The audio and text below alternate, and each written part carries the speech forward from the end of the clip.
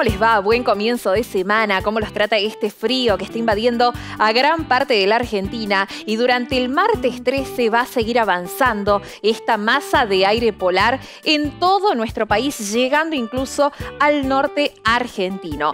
Algunas provincias se preparan para un amanecer y un anochecer del martes heladísimo con temperaturas bajo cero. Pero arrancamos por el noreste litoral con aumento de la nubosidad, ambiente húmedo, marcado descenso de las temperaturas, viento que va a soplar del sector sudeste, el abrigo durante todo el día, me parece, y en la provincia de Misiones puede haber algo de inestabilidad con mejoramientos temporarios.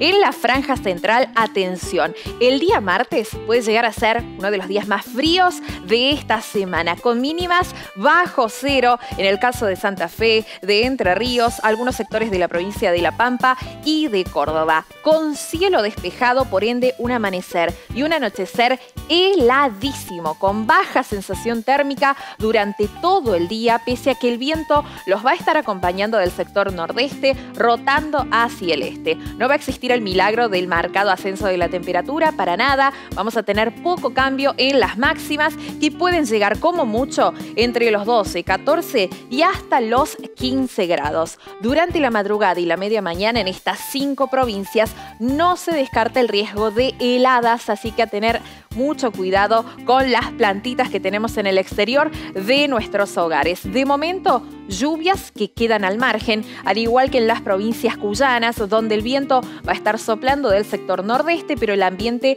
va a estar muy, muy frío durante gran parte del día, pero principalmente para aquellos que arrancan bien temprano a no escatimar el abrigo para los trabajadores y para los chicos que van al cole, la campera súper abrigada, el gorrito de lana, los guantes y la bufanda con mínimas de 2 grados bajo cero hasta 1 grado en el caso de la provincia de Mendoza, con máximas que no estarían superando la barrera de los 14 grados. Nubosidad variable para el noroeste argentino. Se activa el viento sonda con fuertes ráfagas.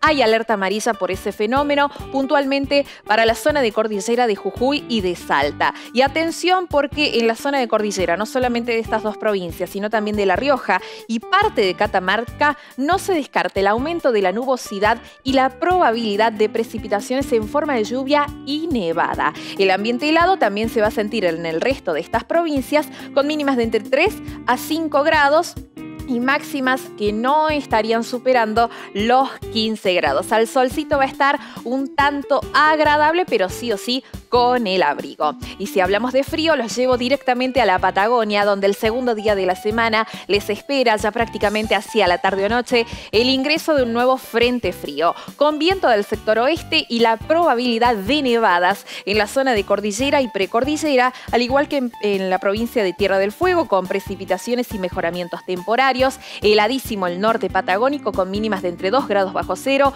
y 2 grados, máximas de 14 grados, con cielo despejado parcialmente nublado y de punta a punta la probabilidad de heladas matutinas.